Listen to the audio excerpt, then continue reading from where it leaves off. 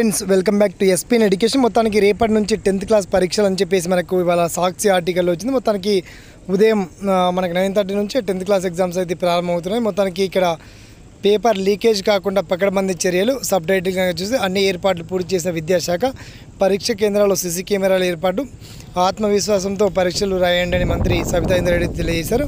అయితే హైదరాబాద్ ఆర్టికల్ ప్రకారం రేపటి నుంచి పదవ తరగతి పరీక్షలు ప్రారంభం కానున్నాయి. దీనికి సంబంధించి ఏర్పాట్లకు సంబంధించి అన్ని పూర్తి చేశారు.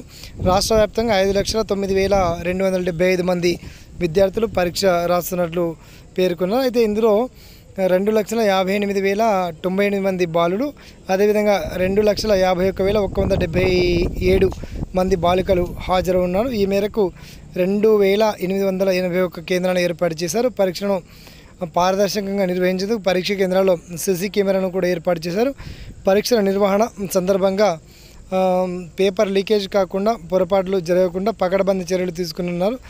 రాష్ట్ర వ్యాప్తంగా one four one forty four section flying card అధికారులను నియమించనున్నారు. Direct director of rate of school ఎడ్యుకేషన్లో కంట్రోల్ రూమ్ను కూడా ఏర్పాటు చేస్తున్నారు. అంటే విద్యార్థుల కోసం మంచినీటి సౌకర్యం అండ్ ఓఆర్ఎఫ్ ఓఆర్ఎస్ సంబంధించి ప్యాకెట్లు ఓఆర్ఎస్ అంటే ఎనర్జీకి సంబంధించి ప్యాకెట్లు అండ్ వైద్య సిబ్బందిని కూడా కేటాయించినట్టు పేర్కొన్నారు. అంటే పరి జిల్లా పరీక్ష కేంద్రాలను పక్కల చుట్టుపక్కల ఉండేటువంటి ప్రాంతాల్లో వన్ ఫార్టీ ఫోర్ సెక్షన్లు అమలు చేయనున్నారు.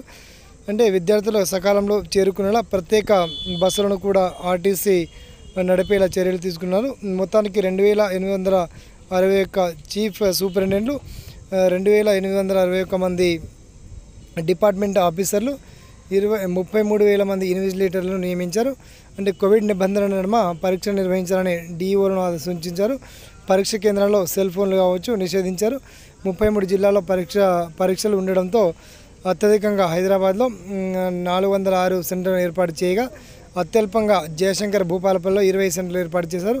కరోనా మహమ్మారి కారణంగా పరీక్ష సిలబస్ను ఈసారి డెబ్బై శాతానికి కుదించారు.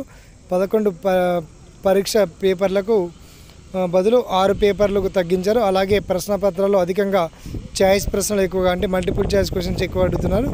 ఈ సెప్టెంబర్లోనూ పేపర్ లీక్ కాకుండా ఈ ఏ సెంటర్లో కూడా పేపర్స్ లీక్ కాకుండా ఉండేందుకు సీసీ కెమెరాను కూడా ఏర్పాటు చేశారు. ఈ నెల ఇరవై మూడు నుంచి జూన్ ఫస్ట్ తేదీ వరకు పరీక్షలు జరగనున్నాయి. ఆత్మవిశ్వాసంతో విద్యార్థులందరూ ధైర్యంగా పరీక్షలు రాయడానికి ముందుకు రావాలని చెప్పేసి సబితా ఇందరెడ్డి తెలియజేశారు. మొత్తానికి రేపు ఉదయం నుంచి టెన్త్ క్లాస్ ఎగ్జామ్స్ అయితే జరుగుతున్నాయి. వీటికి సంబంధించి ఇవాళ సాక్షి ఆర్టికల్ వచ్చినటువంటి అప్డేట్ ఇన్ఫర్మేషన్ టెన్త్ క్లాస్ రా ఎగ్జామ్స్ రాయబోయేటువంటి విద్యార్థులు కావచ్చు. మీ యొక్క పేరెంట్స్ అందరికీ కూడా advance all the best. Thanks for watching. జై హింద్.